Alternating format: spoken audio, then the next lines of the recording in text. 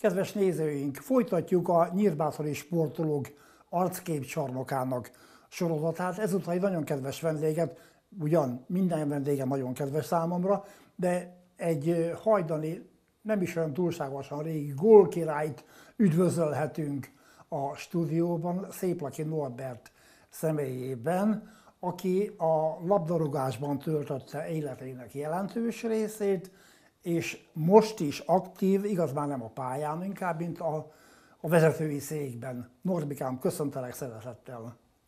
Köszönöm szépen, Laci bácsi, a meghívást, és köszöntöm a, a televízió nézőit is szeretettel. Na kezdjük akkor a szép laki névvel, mert ugye vannak olyan, bár nem foglalkozom névetimológiával, de vannak olyan nevek, amelyek egy-egy településhez köthetők. A szép laki speciál nem nyírbátori név.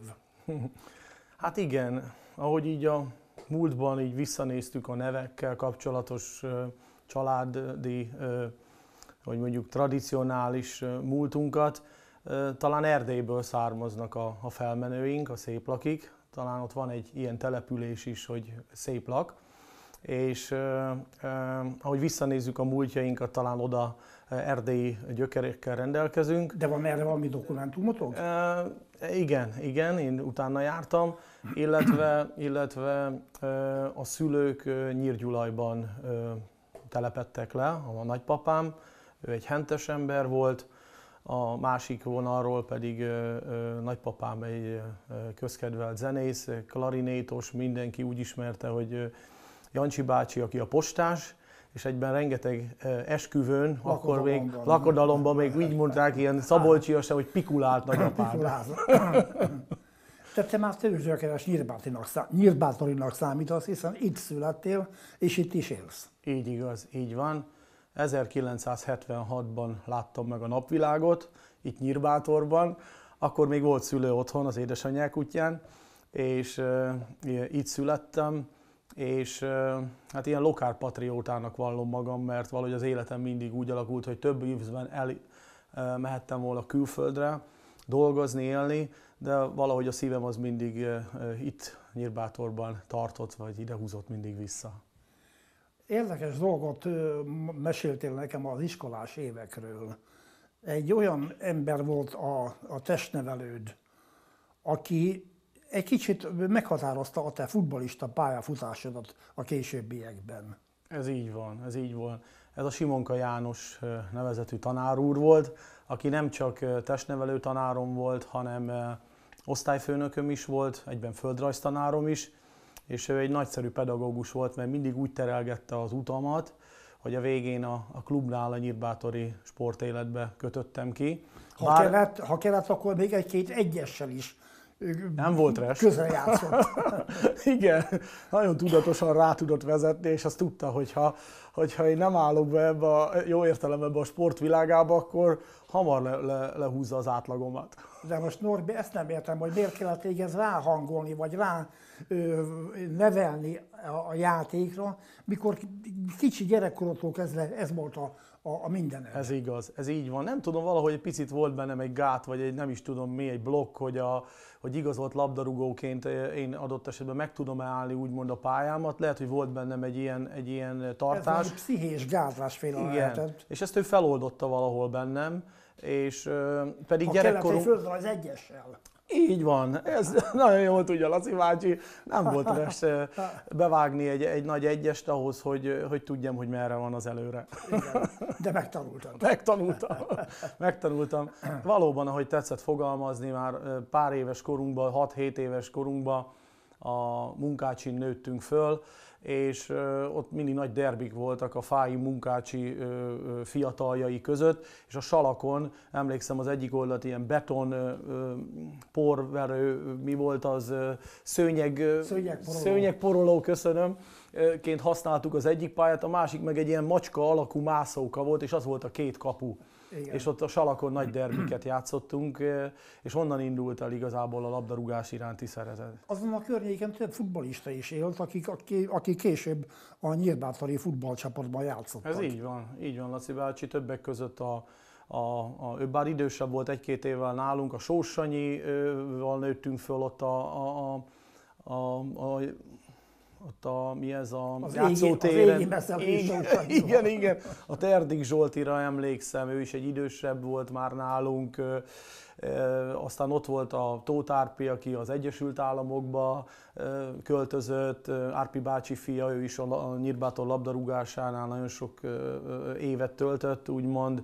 Aztán a Bíró öcsi, a Feri bácsinak a fia, elkerült Budapest környékén, talán Vecsésennél az öcsi, és nagyon sok olyan fiatal De ők játszottak később a serdülőben, Serdülőben is, ifibe ifiben is csapattársaim Persze. voltak, úgy az Árpi is, mint az öcsi, és ö, igen, ő rájuk em, nagyon jó emlékek fűznek, tartjuk mai napig a Igen. kapcsolatot. Mikor lettél igazolt játékos? Ö, igazából olyan 13 éves koromban, tehát a, a, a, a nyolcadikos korodban már igazolt van, játékos igen, voltál. igen, igen, igen, serdülő, ifjúsági éveimet azt a Baracsi János volt az edzőm. Ezekben az években az utánpótlásban így jártuk végig a, a, a, ranglétrát. Hamar bekerültél a felnőtt keretbe. Igen, igen, 17-18 éves koromban már megtiszteltek azzal, hogy beválogattak, vagy behívtak pontosabban a felnőtt csapathoz. Amikor a Fájé meg a Munkácsi futballaszavak, akkor is a góllövés volt a, a, a, a profilod? Hát a fiatalabbként még akkor ott a nagyobbakat jobban ki kellett szolgálni, az idősebbeket, ott inkább előkészítő Ők szerep volt. Így van, nekik elvárták, hogy fölposztoljuk a labdát, és ők fejezzék be. Aztán évek múlva ez valahogy megfordult. Meg a teletél az idősebb. Ez meg a másik, ez így van. Hiszen meg van a hierarchia már kisgyermekkorban is. Ez így van, ez tényleg így van. Amikor beszélgettünk, meglepődtem, hogy te a nyolcadik után nem közvetlenül mentél a gimnáziumba, pincértanulónak álltál. Így van, valóban. Vásáros Naményba kerültem el. Jó apám próbálta terelgetni az utamat, mindig azt mondta, fiam, egy jó pincér mindig meg volt fizetve. Ha lemész a Balcsira, vagy kimész külföldre hajóra dolgozni, egész jó kis pénzszerzési lehetőséged lesz. És ez is motivált valahol, meg úgy, úgy tetszett az, hogy emberek között kiszolgálni az embereket, és így szívből tudtam választani ezt a De ez pályát. egy érdekes szülői felfogás, és hatékony, hatásos is, hiszen a szülő hogy taná- milyen tanácsot ad a gyermekének? Olyan pályát választon, amiből később meg tud élni. Így van. Vagyis, hogyha egy kicsit ö, megtorlam ezt azzal, hogy foglalkozna mindenki azzal, amihez ért, sokkal szebb lenne a világ. Az így van. De hát nem így van. Ez nem így van, igen. Kevés az a szerencsés ember, én is azt vallom, aki, aki azt, azt azzal foglalkozhat, amit igazából szeret is. Én ezt valahol megkaptam az életbe. Mert mindig emberek között szerettem lenni. Elvégeztem a pincérséget, hazajöttél, illetve a, a, a voltál Igen. gyakornok. Gyakornokként, igen, igen. És ott is nagy, minden kicsi a világ, ha vendéglátás, de a sport az mindig közel állt hozzánk, mert Mit kaptál, mit tanultál Mit a pincérségtől? pincérségtől. Hát a szakmát azt, azt valóban megtanították nekünk, tehát nem csak a három éves gyak- gyakorlatról és az elméleti tudásról szólt a történet, hanem bizony olyan emberek oktattak minket, mint a Vadon Albi bácsi, Kiváló pincér. Tamás Dénes bácsi. És, és nagyon-nagyon élveztem későbbiekben, mikor már felnőttként a felnőtt osztályban játszottam Nyírbátorban, minden mérkőzésünkön kim voltak. És ez nekem nagyon jól esett. Igen. De megtanít egyfajta viselkedés kultúrára Igen, is. igen, igen. Valósan. pincérség. Valóban. Igen, Összeszedetnek kell lenni, tudni kell, melyik oldalról szolgálom ki a vendéget, honnan veszem le a poharat. Megkövetel egyfajta intelligenciát. Ez így van, ez így igaz. Akár tetszik, akár nem, ezt így, kell- így kell tudomásul venni. Mert ha nem olyan, akkor nincs borra való, Bizonyám. akkor, akkor ez zsebbevágó kérdés. Ez így igaz. Na, maradjunk, még menjünk vissza a futballhoz, hiszen ugye elvégezted a pincérséget, gyakoroltad is, le is érettségiztél. Így van. Azt Nyírbátorban, itt a Bátori István gimnáziumban, levelezőn végeztem el a gimnáziumot, és a, a gimis évek után pedig hamarosan édesanyámnak köszönhetően fiam kezdenet kellene valamit azzal az érettségével is, meg a szakmával, és a szakma egy nehéz helyzet elé állított engem. Tudni, a vendéglátás az az éjszakázásokról szólt, rengeteg esküvő, lakadalom, És mindenféle futball rendezvény. nehezen volt. És másnap meg mérkőzések voltak, hajnalba jöttem haza, és délután azért illet teljesíteni, nem csak a pályára kellett ezt felvinni, úgymond, és ezért valahol ütközött. És aztán hoztam egy döntést, hogy bár nem volt könnyű, hogy mégis a, a sport felé mentem, és így egy kicsit a, a, a, nem kicsit, hanem a pincérség, a szakmám az egy kicsit háttérbe szorulódott. Akkor most elmondhatjuk utólag sok év távlatából, hogy Simonka Janinak azok a földrajz egyesei megtették a hatásukat, amikor kritikus helyzetbe kerültél, válaszút elé álltál, akkor igen. a futballt választottad. Igen, igen, ez így, ez így történt, de aztán végül is nem szakadtam el teljesen a szakmámtól, mert hogyha egy családi rendezvény van, vagy olyan barátaim meghívnak, akkor ott valahogy kijön mindig belőlem a szakma, és akkor ott ténykedek. Igen, ez így van a játékos társakra emlékszem, akik a felnőtt csapatban, akik közé bekerültél. Igen, igen. Hát egész fiatalként fölnéztem nagyon azokra a generációkra, akik ott a 90-es évek közepén nagyot alkottak ugye ez a Tóth Janiék idejében lévő megye egyes osztály, illetve az MB3-as osztály. Akkor Jani, már, Janival Jani, nyert Nyírbátor először Így van, így van. Ő már látta bennünk, azért lefelé is nézegetett, kacsingatott az utánpótlás felé, és volt egy-két mérkőzés, amikor fölvitt minket az első csapat, akkor kerettakként voltunk ott, és nagyon jó volt. De olyan csapatnak a kerettagja lenni, nem, nem volt kis dolog. Az biztos, főleg úgy, hogy a csapatok olyan, olyan játékosok alkották, akik hosszú éveket magasabb osztályban, MB3, MB2-ben meghatározó szerepet nyújtottak. Milyen poszton kezdtél a felnőttek között?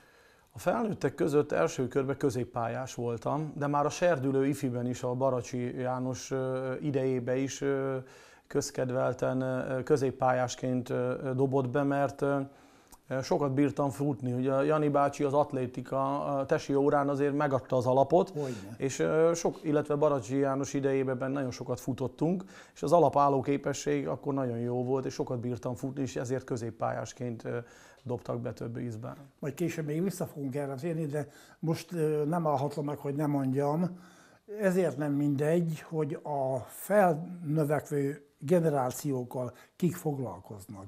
Mert ha testnevelő, és jó testnevelő, jó tanár, akkor a példa bizonyítja ezerszeresen, hogy akkor jó futbolisták is, kiváló emberek is lesznek. Ez így igaz.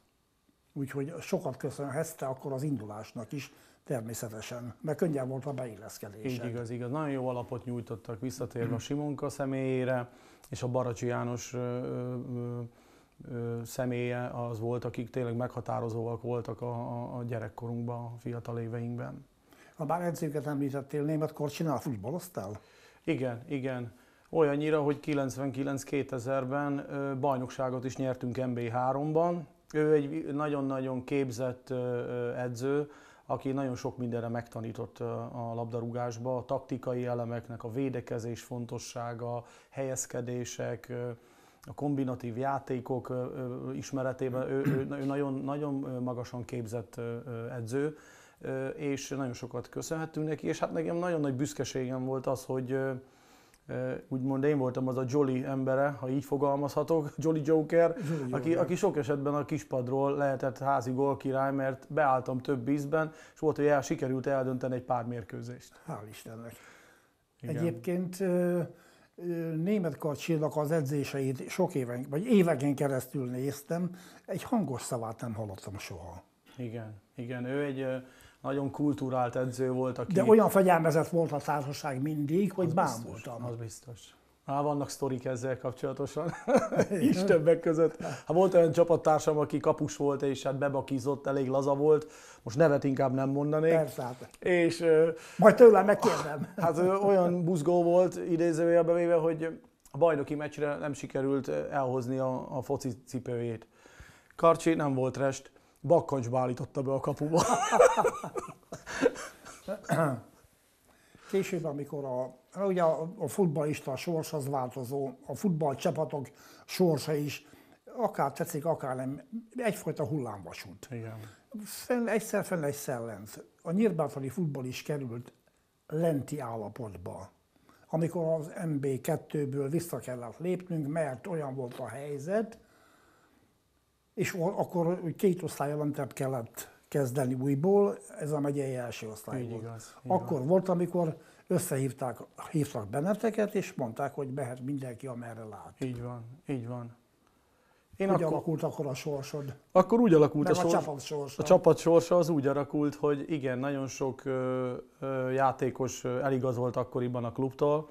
És Akik az ke- MB2-es csapatnak standard tagjai voltak. Ez szó szerint így volt, és aztán, de végül is egy pár lokálpatrióta helyi kötődésű, az mégis maradt. Többek között én is Többek maradtam. is. Igen. Ezt mindig megkaptam, hogy te voltál az a személy, aki sok helyre eligazolt, de sokszor nem, vesz, nem figyelték meg ezt a részeit, hogy bizony, amikor meg nagyon nagy szükségben volt a csapat, akkor nem elmentünk 20 ezer forintért többért, már bocsánat, hogy itt ezt az összeget itt megemlítettem, hanem bizony akkor maradtunk. És könny, nem volt könnyű évünk, mert a következő évben szinte ifistákkal, meg egy pár helyi játékossal kellett bemaradnunk az akkori nem, nem gyenge megyei első osztályba. Így van, de sikerült. Igen, igen. Nem volt könnyű, de nem volt sikerült. könnyű, de legalább jó nehéz volt. Legalább jó nehéz volt, igen.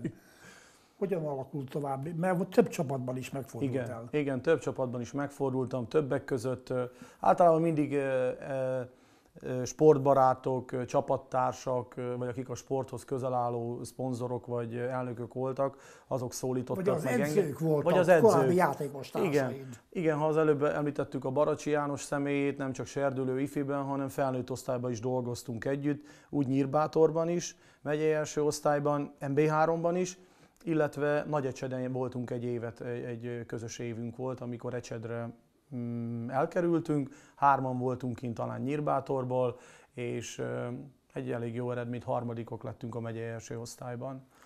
Saholyban is megfordultál. Igen, utána talán a következő évben ott a Tike, Tóth Tibi barátom személye volt az, aki úgymond elhívott Nyírcsaholyba. Ott volt Zsolti is, Csapos Zsolti. Igen, Zsolt is, akkor a, eligazolt, lejött velünk, a, ha jól emlékszem, a Pataki Attila, őt már nem az Eddás, Tudom, hanem a, tudom. pa, a pat, Patkó, úgy hívtuk.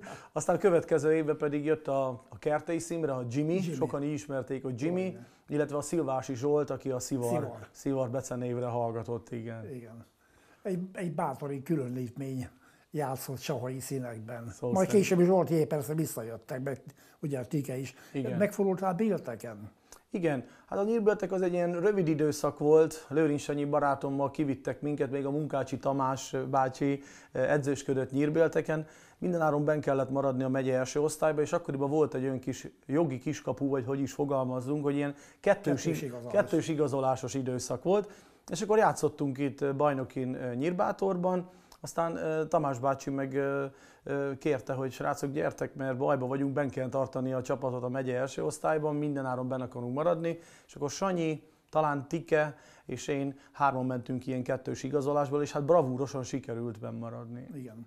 Jelentős állomás volt Tiszabecs. Igen, Tiszabecs. Tiszabecsre Erdei Zoli barátom hívott el, az ő hatására mentem el Becsre. Mondta Norbi, gyere, menjünk el, mert egy elég jó kis csapat szellem kezd kialakulóban lenni, és ott Fehérgyarmat és Tiszabecs környéki srácokkal egy jó megy egyes csapatba gyere el. És tényleg jó szezonunk volt, két évet húztunk le. É, Akkori bajnok Kisvárdát is megvertük hazai pályán, Körmös Miki volt amúgy az edzőnk, A Fekete a Párduc. Fekete Párduc, így van Miki, majd ö, Gabó volt még velünk Gergely Gábor, az a Gergely, akiről egyszer beszéltünk Laci bácsival, a, a, a Gergelyek Én is. az apját Igen, az apját, ö, említettem. én meg a fiáról beszéltem, beszéltél. igen, hogy most is az öreg fiúkban csapattársam a Gabó.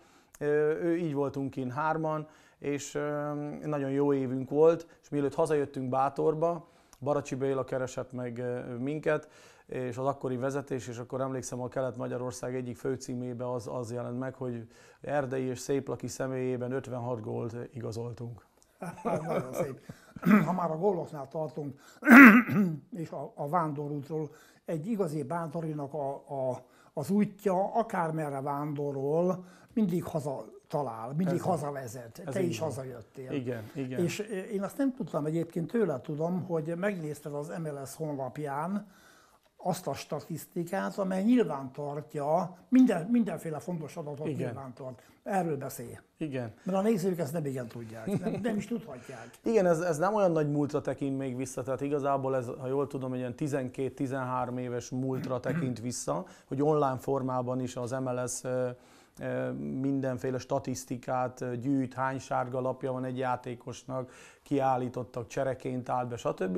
És most rátekintettem, és fölkaptuk a fejünket ott az öreg fiúknál az egyik foci után, hogy te nézd már Norbi, mondja Laci, Balaton Laci a klub elnöke, hogy hát ez nem olyan rossz adatbank, 411 mérkőzésből 409 gólod van. Ez fantasztikus. Hát Hát igen. nem tudom, hogy, hogy van-e rá példa, tényleg nem tudom, mert ha ezt tudni kellene a mások statisztikáját is, Igen. de ez, ez káprázatos. Igen, igen. Ha még két gólt rúgsz, akkor ahány meccs, annyi gól. Annyi, igen, azért nem egy rossz átlag, hogy Nem egy rossz átlag. egyes átlag úgy volt. Hát hála jó Istennek mondhatnám így is poénosan, hogy inkább tegező viszonyban vagyok a labdával, mint magázóba. Nem kell bemutatkozni. Igen.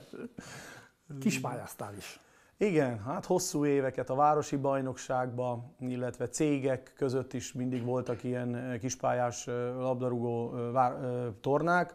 Hál' Istennek sikerült eljutnom az egyik cégnek köszönhetően Milánóba. Ott, ott Magyarországot képviseltük, ott egy nagyon szép eredményt, harmadik helyezettek lettünk, úgyhogy a brazil válogatottat vertük meg, és ennek volt egy jutalom útja, hogy Spanyolországba kijuthattam egy hétre, itt négy napot Toledo városába, ahol a szátot is gyártják, megtekinthettük, és három napot pedig Madridba voltunk, és emlékezetes volt, és a jutalom útnak az volt a, a, a- pozitív része, hogy egy BL meccset láthatunk, egy Real Madrid AC Milán mérkőzést. Fantasztikus. Ez nagyon nagy élmény volt. És ezen kívül a városi bajnokságban olyan 12-13 alkalommal sikerült megnyerni a, mm, a városi bajnokságot, és ez, ez, ez időszak alatt is több ízben a gólkirályi címet. Nagyon sok játékos, aki befejezi az aktív labdarúgást, sértődötten, csalódottan távozik a pályáról. Nem tartom törvényszerűnek, és nem is normális dolog. Igen. Na most örömmel látom, hogy ott van az embléma a melleden, a, a, a pólódon, vagy a, a, nem, most nem ez, ez Egy akármicsoda, mindegy ruhadarabon, a Nyírbátori futballklubnak az emblémája. Igen. Ezek szerint akkor neked szereped van a, a, a mai nyírbátori labdarúgásban is. Ez így van, igen. Az a megtiszteltetésért, hogy a régi gyerekkori barátok, akik most a, a klubnak a, a vezetői, megkerestek engem, hogy lenne-e kedvet kivenni egy, a részed a nyírbátiri labdarúgásból. Nagyon örültem, amikor megkerestek, és hát a fő fókusz az, az nem titkolt cél, hogy ugye én már közel három évtizede értékesítéssel foglalkozom, De milyen minőségben ö, kaptad a felkérést? itt úgy, mint klubmenedzser. Mint klubmenedzser. klubmenedzser, igen, és nekem kellene, meg én fogom menedzserelni azt a részét, azzal fogok foglalkozni, hogy hogy szponzorokat kell találnom a, a klubnak, jó értelembe véve, és reklámfelületet biztosítunk a centerpályán, különböző molinó lehetőségeket adunk, mezekre, melegítőkre tudjuk felrakni a, a, a reklámokat a cégek részéről, illetve a pályának a, a, a bérbeadása, ugye műfüves pálya, mint a, a, a kis műfüves pályának a bérbeadása, sportszállónak a, a bérbeadása, és ilyen jellegű munkálatokkal vagyok megbízva. Ez egy nagyon szép feladat, és nagyon összetett. Igen. Viszont az előképzettséged, az eddigi foglalkozásaid, vagy munkahelyeid úgy érzem alkalmas, alkalmassá is tesznek téged erre, hiszen az értékesítéssel foglalkoztál évtizedeken keresztül. Így igaz, így van. Ezért is kerestek meg többek között a, a, a, a vezetők, és hát hála jó Istennek azt mondhatom, hogy már olyan fázisban vagyunk, hogy több ízben nagyobb cégekkel sikeres tárgyalásokon vagyunk Ez túl, és már vannak megkötött szerződések is. Nagyon jó. Akkor már eredményről is be- beszámoltál most a, a kedves Igen. nézőnek. Egyébként, ha lehetne vázolni néhány elképzelést, hogy, hogy milyen, milyen változásokat szeretnél, mint menedzser. Igen, hát ö, mindenféleképpen nagyon nagy ö, ö, szíven vágya az, hogy a, az utánpótlás, mint olyan, kiválóan működjön. Hiszen ja, Istenem. Laci bácsi szívéhez szóltam. Igen, tehát a jövőben egy, egy maradandót szeretnénk, kiemelkedőt szeretnénk az utánpótlásban alkotni, és mivel 2010, 2021-ben körzetközpont lettünk, ugye a környező fiatal tehetségeket is már a, a klubhoz igyekszünk terelgetni, illetve az utánpótlás képzés az jó szakemberekkel elkezdődött. Nekem nem tisztem az ő személyüket úgymond bírálni. Persze. A szakmai részébe természetesen én nem szólok bele, viszont az utánpótlás, mint olyan, az egy nagyon-nagyon fontos, és azt szeretnénk, hogy ahogy mi megkaptuk az élettől, olyan szerencsések voltak, hogy végig tudtuk járni a ranglétát serdülő, ifi és nagy csapatban, ugyanúgy szeretnénk, hogy minél több helyi nyírbátori, nyírbátori kötődésű játékos beépüljön az első osztályba. Mi kell ehhez? Hát ö, ö, nagy alázat, a szakma részéről egy nagyon nagy összeszedettséget igényel, és egy komoly, hosszú távú építkezésre van szükségünk, mert nagyon fontos, hogy az alapoknál kezdjük el, és erre szeretnénk tudatosan fölépíteni az utánpótlást. Anélkül, hogy mélyebben belemennénk ebbe a kérdésbe, vagy mélyebben foglalkoznánk vele, azért ott vannak azért még, akik, akik hiányoznak ebből a sorból, az én meglátásom szerint, hiszem, amikor beszélgettünk erről a témáról, azt mondtad, hogy célod a helyi erők egyesítése. Ez így Szerintem van. is a, a legnagyobb, a legszebb menedzseri tevékenység, amit el tudok képzelni. Ez így van, de egyben a legnagyobb kihívás is. A legnagyobb kihívás is. Mert egy labdarúgónak is, mint akár egy ember életében, egy vállalkozó életében rengeteg jogos vagy jogtalan sérelem éri a pályafutása során és nagyon nehéz úgy, úgymond a sebekhez hozzányúlni, hogy azok gyógyuljanak, bizonyan. és ne tovább éljüljenek. Ez így van, ez így van. Úgyhogy nagy, nagy, nagy feladat is egyben, és hát uh, igyekszünk ezen lenni, hogy minél jobban működjön a klub. A pályával kapcsolatban, ugye tudom, de mondjuk el a nézőknek is, hogy pályázatokat nyertetek, átalakulások lesznek, Mit terveztek? Igen. A leglényegesebbeket. Most ami nagyon sikeres a társasági adónak a, a nyertes pályázati után, pályázatai után, úgymond a, a két műfüves pályának a borításának a cseréje, ez egy nagyon nagy volumenű beruházás. Úgy a nagy pályán, mint a kis pályán új borítást fog kapni, illetve a lámpáknak a korszerűsítése, tehát ledes fényekkel lesznek ellátva, sokkal energiatakarékosabb lesz, a pálya. És még világosabb is És lesz. még világosabb is lesz, így van, így van. Hagy lássák a gyerekeink minden jobban a bőrt. hogy mit kell rúgni és hova. Hogy mit kell rúgni és hova. Így van. Igen. Így van. Norbikám, családban élsz. Igen. Egy picit azért a családodról két-három mondatban, hogyha Igen. nem nem, persze.